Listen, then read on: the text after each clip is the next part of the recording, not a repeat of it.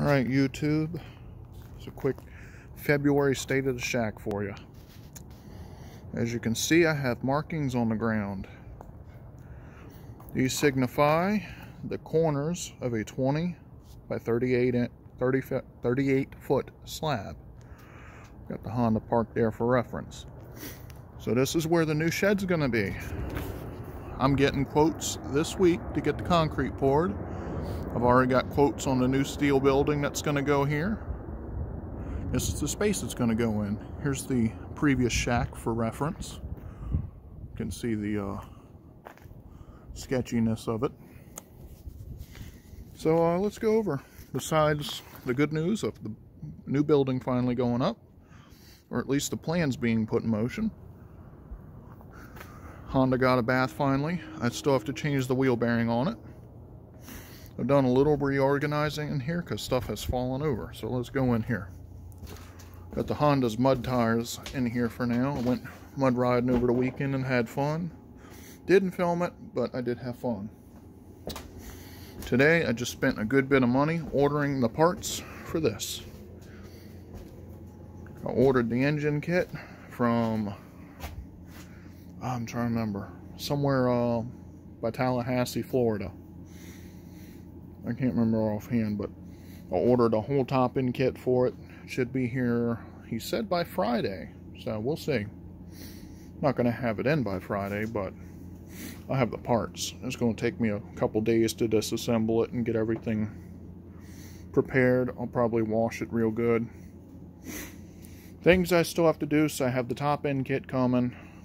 You know, that'll take care of them problems. I'm intending on making a cover for this flywheel. They want 170 bucks for a used one that's the actual pull start that's supposed to go there. That's not happening right now. I'm going to make a piece of aluminum or something to cover that up. Um,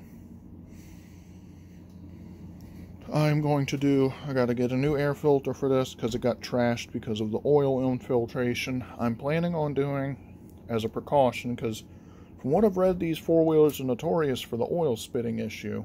I'm going to run a catch can somewhere back here with a drain going back to case. That way, when it spits oil up, it can drain back. At least that's the idea. Maybe fixing the blow-by will clear all that up. Don't know. Still got to order a front axle for this side, brake pads, and possibly tires. Granted, these aren't that worn. I mean, they're worn for vampire tires but this one over here is starting to get very leaky very very leaky. Um I think that's about it. Everything else on this four-wheeler is happy. Brakes are working again. I need to fi uh, fix the rear brakes but that'll be its own thing. I might actually do a video on that because that little arm back here seized I've been soaking it with oil you know once a day every couple days now and uh, i think I'll do a video on how to free those up because that is notorious for enclosed drum brake four-wheelers for that to happen. There's a procedure to get it out without breaking things and make it where it's useful again. Other than that, um, I've done some reorganizing in here because that toolbox almost fell over again.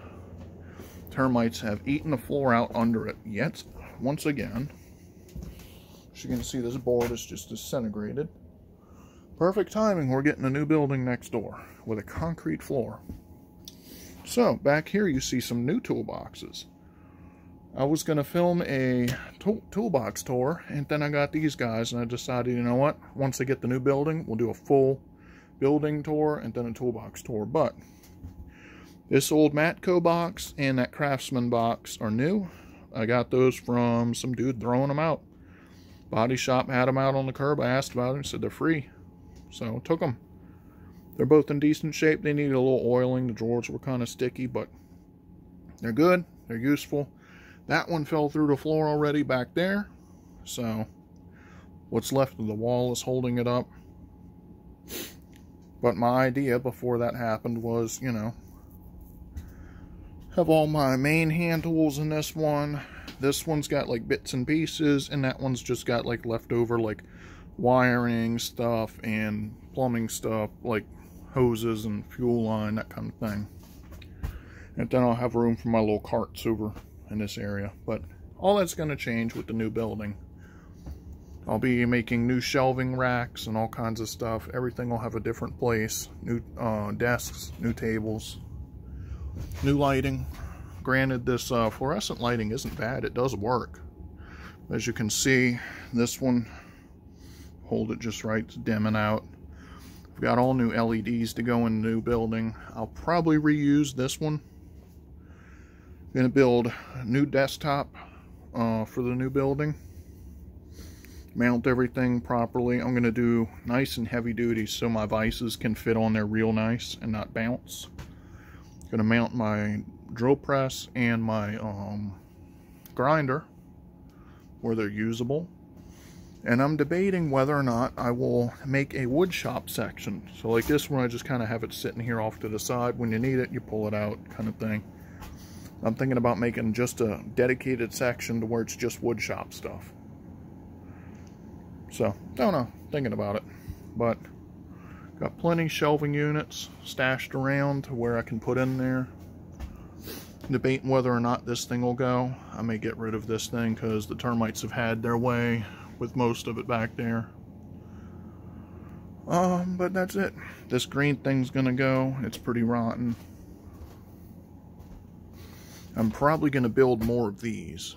These are very simple um, shelving racks that I make. They take like no skills to build. So I'll probably do more of those. So I got to start thinking about how I'm going to plan out designs and all for the new floor plan, but thought I'd give you all the good news. Good February. Um, but that's about it. Yeah, as for uh, my brother's Can-Am, this is all that remains of it. Just a couple parts. See if I still have, yeah. It's what's left of one of the main bearings. Trashed. So that's about it. So this one's getting ready to get rebuilt. Shed's getting ready to get rebuilt. And it's getting about time because things are starting to get a little leany in here. You can camera kind of flattens stuff out, but you can see the roof coming down like this. Um, those cabinets and shelves and stuff all leaning that way. You can kind of see how all of these are leaning away a little bit all leaning that way. See if I can show you how bad the floor is. See how it drops away up there in the front. So there's probably a good, I don't know, you can't really see it on camera, but I would say there's a good 8 to 10 inch drop right about there where the lawnmower is. That whole section right there drops down and then goes back up. So that's where the termites ate all the floor joists out and then the plywood's just sitting on the dirt below now. And then all of this space, not to mention, I mean you can see all of this is just gone. I mean this building's been here since the 50s or 60s I think, so they definitely got their money's worth out of it. You can see here where it's just the wall is falling away from the roof there's literally nothing left. Formosan termites for you. And this is damage that was here before I kind of moved in, before I even started working here. It's just gotten to where it's just gotten worse and worse and worse. So I'm thinking this damage was probably about when I first started working here they were active because when I first got here, this was not what it was.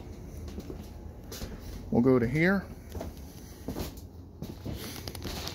from about here. You could get to the lawnmower, and then it was a wall of just stuff piled like a hoarder's house. All the way to the back, you couldn't see any of these lights. It was just sheetrock and trash and boxes and anything you could think of.